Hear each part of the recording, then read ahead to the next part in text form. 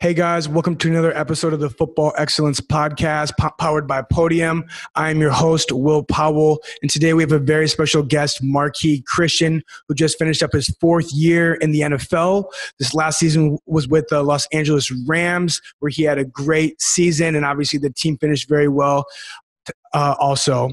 But uh, we have Marqui on. We talk about a ton of different topics. Marqui uh, is from Houston. He then went on to play at Midwestern State, a Division two in Texas, and then he was drafted in the fifth round by the Arizona Cardinals. A lot of what we talk about today is how he went from not getting a lot of FBS offers or big school offers um, to progress at a Division two university to then get drafted to the NFL. So you know what it takes to go from a small school to being drafted in the NFL is a big topic of what's important to me and for us at Podyum because we help hundreds of guys all the time who are from these smaller schools who has who have aspirations to make the NFL. And later in the conversation, we talk about Marqui's interest in fashion and how, how, how fashion is growing in the sports industry with people like Russell Westbrook um, and uh, David Beckham and, and, and, now Marqui being quite the stylish dude himself. Um, talking about a typical day in the life of an NFL player and, and how he's um, and, and the differences be, between going from college Division two to the NFL and some of the, the, the difficulties and some of the, the, the things that he had to go through to transition to the next level. Talk about a lot of great things. You're going to love the episode. Marqui is the man. So without further ado, check out this podcast. So without further ado, check out this podcast with Marqui Christian. Marqui, welcome to the Football Excellence Podcast, man. How you doing? Good, man. How, how about yourself?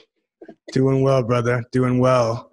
Well, happy to have you on today, man. Um, you know, a big, big part of what we want to talk about is coming from a, a smaller school, FCS Division two and lower, and making it to the NFL.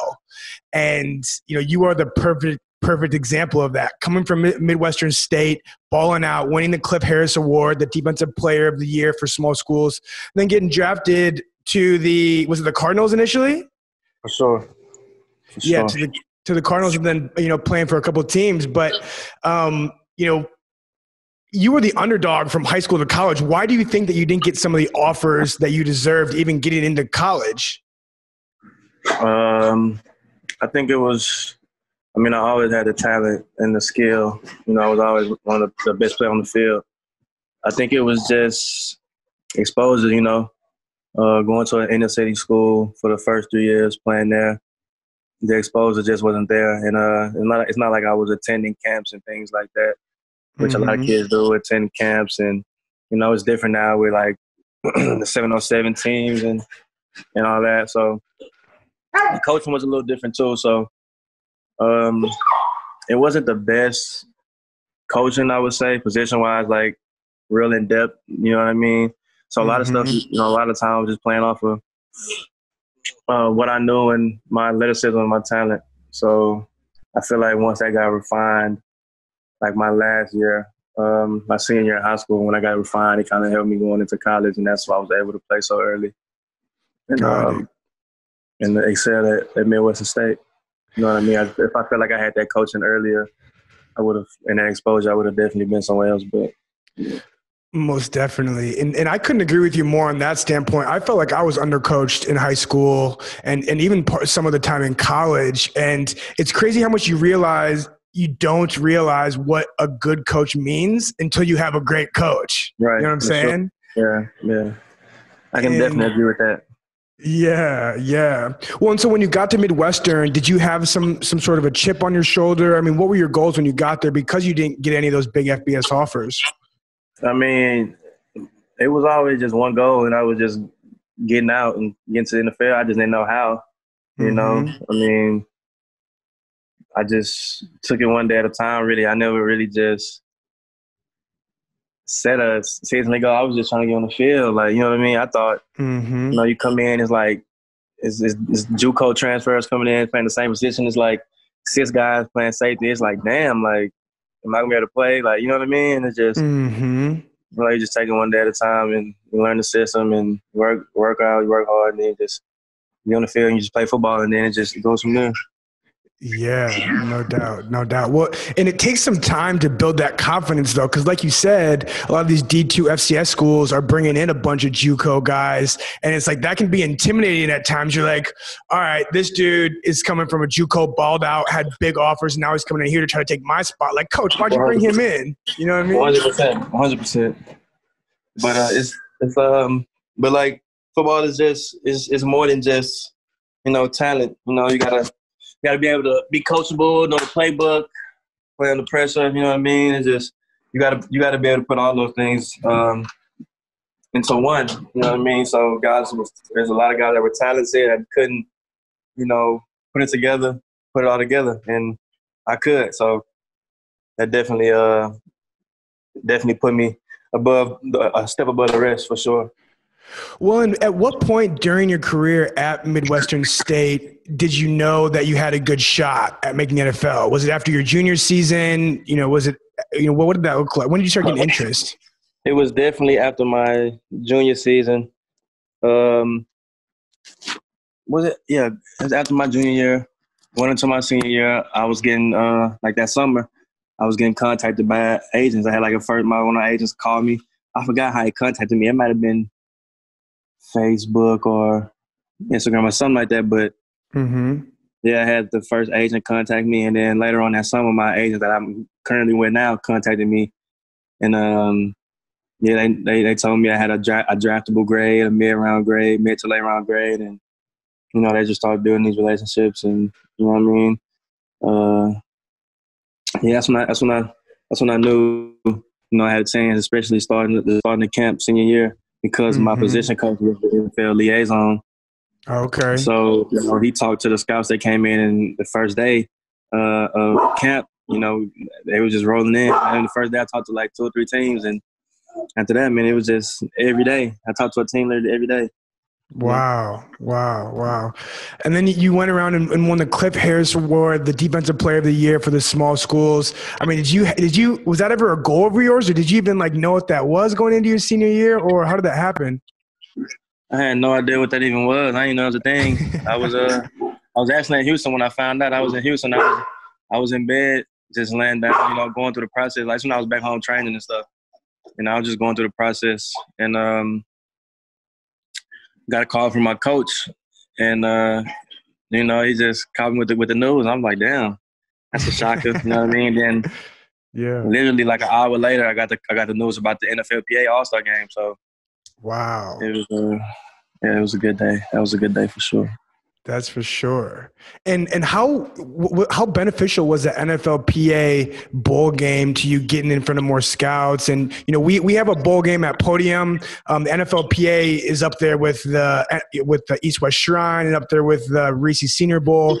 Um, and we feel like we're next behind those. But how was it getting in front of those scouts and, and being able to see them and them see you move? I mean, that's what got me drafted. Yep. You know what I mean? One of the scouts fell in, and fell in love with me, which was Adrian Wilson, mm-hmm. who was a new like a newer scout for the for the Arizona Cardinals, saying as he just uh, stopped playing probably like two or three years before that, mm-hmm. and um, yeah, man, we I think he he just fell in love with me from drills and inside run drills and making plays on the ball and just four drills, and we had several meetings, and he was just like, man, like you know. It, he was like, it's, it's, I, I got to get you to Arizona. Like, we gonna make sure, make sure. Mm. You know what I mean? And he, and um, being at, being as he was in the Ring of Honor, well now he is, he had like okay. a big influence. You know what I mean? Especially being an actual player playing a position. So you know his his word to the team. You know it meant I guess I meant a lot, especially you know when it came to me. No doubt, that's a blessing. That's all it takes is one guy, right? It takes one guy to see you and like you. It's it's so crazy.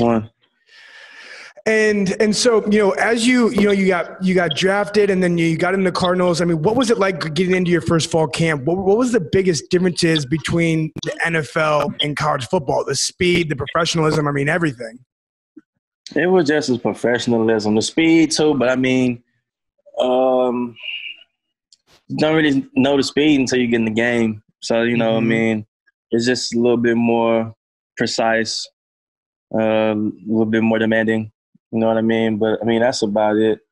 Um, more mental for sure. I mean, it, it's it's a toss up. Some some defensive playbooks and I mean because I mean it's defense. I mean you know you can't really make up any too many new defenses. You know what I mean? It's cover 4 mm-hmm. cover two, cover three, cover six, cover.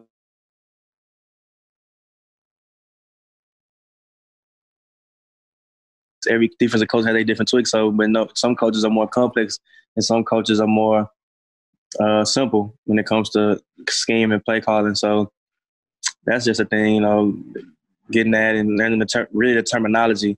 That's a big thing too, you know, for checks and and calls and things like that, especially being a safety. You know what I mean? Communicating, mm-hmm. uh, being a DB period. So just the terminology, uh, the professionalism, uh, taking care of your body for sure, and the speed. Yeah, and and who are some of the you know your your biggest mentors you know with the, with the several teams that you played for in the NFL? I mean, guys that you went into camp with during the season, and you're looking up to them, watching what they're doing, seeing how they move on and off the field. Who are those guys for you? Uh, definitely like Tyrann Mathieu, Patrick Peterson, Tony Jefferson, uh, DJ Swearinger early on, yeah. which are like that's that's a crazy room. That's like that room is like worth two hundred million dollars. You know what I mean? Man, that's some of the best DBs in the past decade. Yeah, for sure. It's like you know I was in the room with those guys early, and then when I got to LA, I was like you know it was a real really young room, but we did have a um, Trumaine Johnson who was like high, one of the highest paid corners ever. You know what I mean? Mm-hmm. He was a real student of the game. Uh, I, I, watched him, and um, yeah, I mean, of course, being with the Rams, you know, you got Aaron Donald, mm-hmm. um, my bro Michael Brockers, who I went to Chavez with early on in high school when I was a, a freshman and he was a senior, and we had the chance to play on the same NFL team. So it's wild. Uh, yeah, Aqib Talib, Eric Weddle, you know, legendary, like Hall of Fame guys. You know what I'm saying? Yes, yes. Well, and you know, in some of those top DB guys, I mean, what set them apart? Was it, you know, was it their athletic ability? Was it their commitment to learning the game? I mean, what did you see in them that made them great? Uh, well, it depends. You know, some guys aren't the most athletic, and some guys are just students of the game, and some guys are real good study us, you know what I mean, and mm-hmm. can can see the field uh, really well. Uh, some guys are just great leaders and lead lead by example. You know what I mean. So it's all it's all depends. You know, every person in the NFL is different. So you know, like some guys have both. Aqib Talib, you know, Hall of Fame corner, uh, second and I think he's number two in in the NFL ever and pick sixes mm. behind Rod Woodson. But yeah, wow. he just had he got a freak freak athlete, and he just he knows how to study film well. He knows how to uh, read formations. He knows how to read route patterns. You know what I'm saying? He's a mm-hmm. he's he's savvy and he's super athletic. You know what I mean? And Eric Weddle, who is definitely not the fastest. You know what I mean? All the quickest, mm-hmm. but he's just so smart, man. He knows what the D line is doing. You know what gap to be in. You know what gap to hop in. He t- you know what I mean? He just he literally a coach on the field. I've never seen nobody know what's coming like him. Like it's mm. ridiculous. But he's a really he's really good at film study too. Like, like unreal. I can imagine. I can't even start to explain really.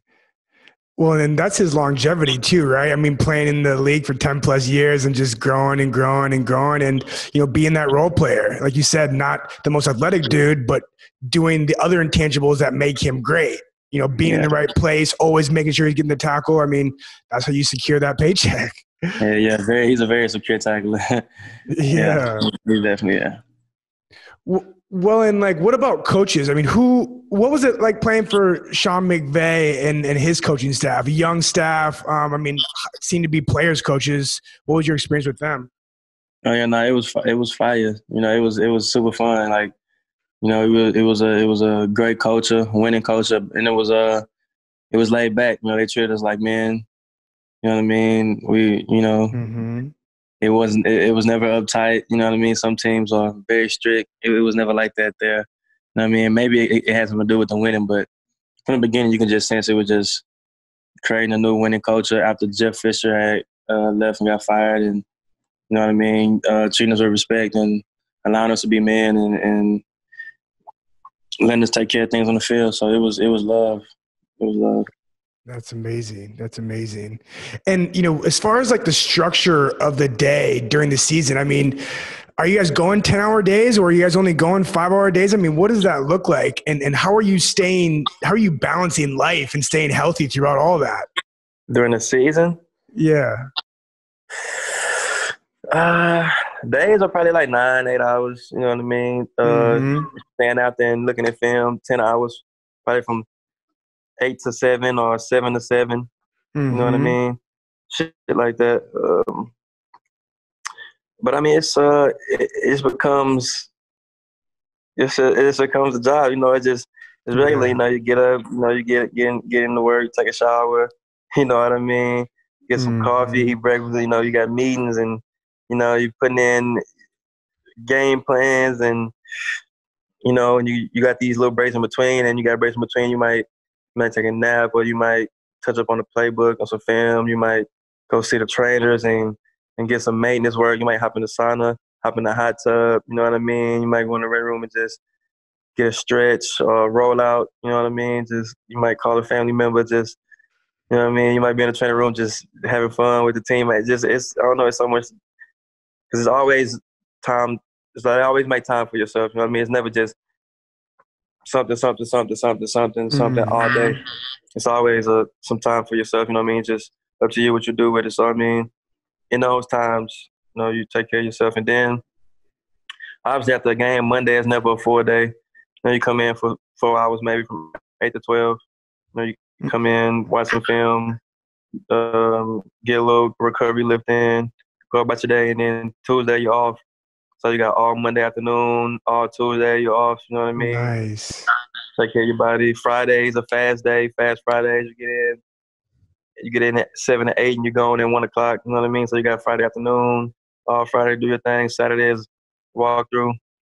Then you got all that afternoon. You know what I mean? So it's it's plenty of time. It's, it's plenty of time. Yeah, well, that's nice though. I mean, it's nice that you can use that extra time to, you know, do whatever you want because you can't just be going from back to back to back to back. Otherwise, you're going to get burnt out so quickly. And with 100%. with five months of the season. Like there's no way anyone can sustain that. So, I mean, that's good to hear that you get some sort of break to either meditate or call people or eat or, you know, whatever. No doubt. Um, well, and so what about the offseason? I mean, right now you're in free agency, you know, you're training, the draft just got over with. So I'm sure you're waiting, uh, you know, to see where guys are getting signed and in that process, you know, what is your training like now and how do you pre- prepare yourself for when you do get that call again? Uh, that's the same thing I've been doing every off season. Just, I mean, staying on top of things. Mainly, uh, I start in the early, earlier in the off season, like February, March, in the weight room. Mm-hmm. Um, then you know later, you don't want to burn out too early. Later on, and you start slowly hitting the field and getting in the cleats. And um, around this time, I'm I'm I'm not in the weight room as much. It's more movement, weight training. You know what I mean? Mm-hmm. It's not mm-hmm. for bulk. And um, now something new I'm doing, I'm just making sure I'm in shape, conditioning since we haven't had um, OTAs or mini camp. So I'm just um, getting up, running, running a lot now, and um, just on the field doing different things in the sand pit, on the hill, uh, position work. Mainly, that's all. Just touching up on the on the on the small things on the field, and you know, just getting my my wind up, my endurance, and my my my um, conditioning mainly is my focus right now. So. Excellent, excellent, excellent, excellent. Well, and and so, you know, Marqui, what are some of your favorite lessons or quotes or mottos that you've been taught from a coach or from a player in football that kind of defines what you think about the sport and what it's done for you? Hmm. Man, I, I want to think of this quote because Eric Weddle had a lot of good quotes. Man, mm. I'm trying to think of a specific, specific quote he used to have. It's basically about how um, every player has their role. You know what I mean? And mm-hmm. you know you can't do mm-hmm. another role if you're not.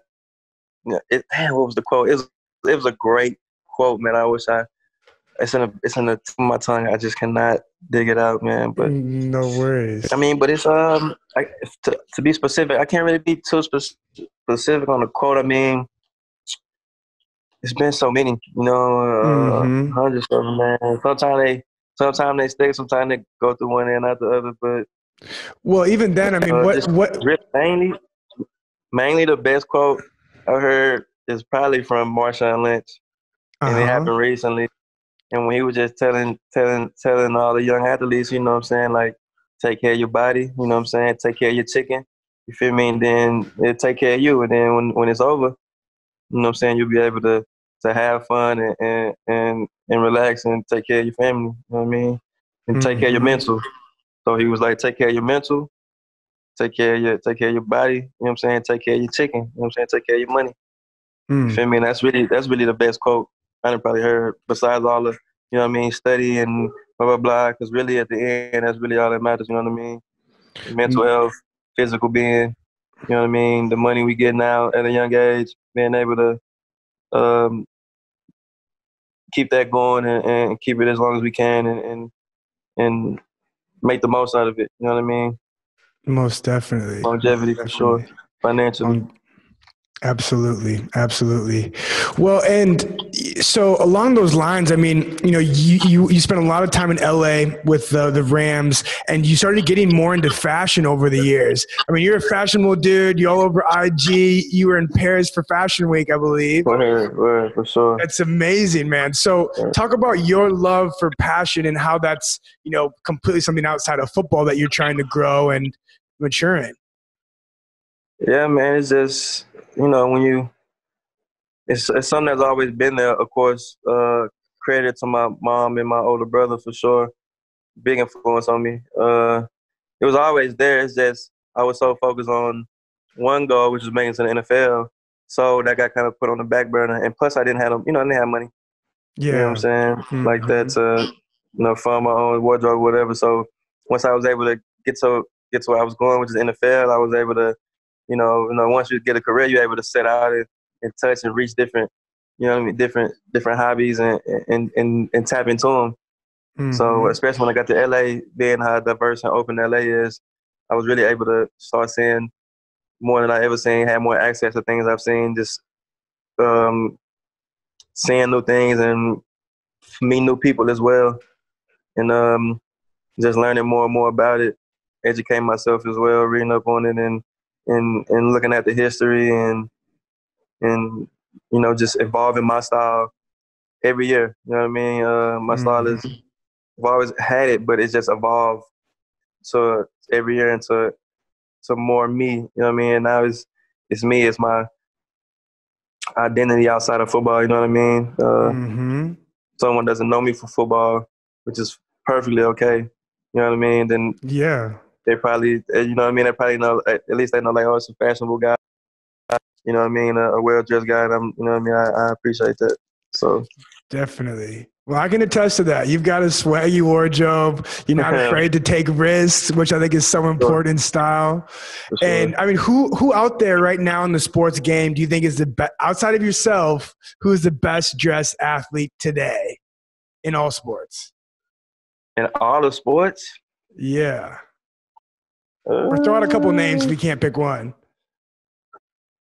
Um, my man, my man, Stefon Diggs. Steph, okay. But yeah, with Buffalo now, Steph is uh, Steph get busy. Uh, Russell Westbrook for sure gets busy. I was gonna say Russell. Yeah, yeah Russell thing. Um, man, who else? Um, David Beckham. David Beckham is super fresh. sure, David Beckham definitely has a, a, a great sense of style. Mm-hmm. Um, what's another athlete? Um, let's think, basketball wise. Um, I don't know. I don't know. Uh, I, I, I, don't want nobody out. Uh, my man's my man's in uh, Denver, who he's in Philly now. My man's uh, Will Parks. You know mm-hmm. I mean, mm-hmm. close friend of mine. He, he he he get busy too, man. He do his thing. You okay. feel me? Um, well, and yeah, do you man, see? That's, that's, that's the name of a few. Okay. Well, do you see, you know, uh, more of a trend of athletes becoming models, athletes getting more into the fashion game, or is it something that's already been happening for a long time? Oh, oh, shit. Oh, no. Uh oh. Drop my food everywhere, but um, not necessarily. No. Sucks. Not necessarily uh models, but definitely more into the fashion. But that's just the climate of the world we live in right now. You know, um, mm-hmm. especially with Instagram and, and, social media and things being more accessible, uh, like fashion. So, right. you know, it's the era of fast fashion. So, I mean, uh, definitely more athletes are, are are getting into it. You know, what I mean, um, it just comes with the with the times at this right. point. Right, right, right, right, right. Well, and well, well, Marqui, just to just to finish up, I mean, what is your advice, you know, to to small school athletes who didn't get any FBS scholarships, who are at a D two grinding, have some potential? I mean, what's your advice to those guys on you know creating their best opportunity to, to be in the NFL and excel in the NFL, like you? Um, it's really just maximizing every opportunity and and putting that extra into because obviously we already have disadvantage, but it's just working on your strengthening your weaknesses and um, making your strengths stronger, maximizing your opportunities, um, being a student of the game, and yeah, being a student of the game and just um, and, and taking taking the taking advantage of every opportunity and, and being coachable and taking it one day at a time. That's great advice. Well, man, we appreciate it, Marqui. Look forward to seeing you get signed here shortly. And sure. uh, as always, it's a pleasure, brother. Always, brother. I appreciate it. All right, man. Well, you take care. That's another episode of the Football Excellence Podcast. Take care, guys.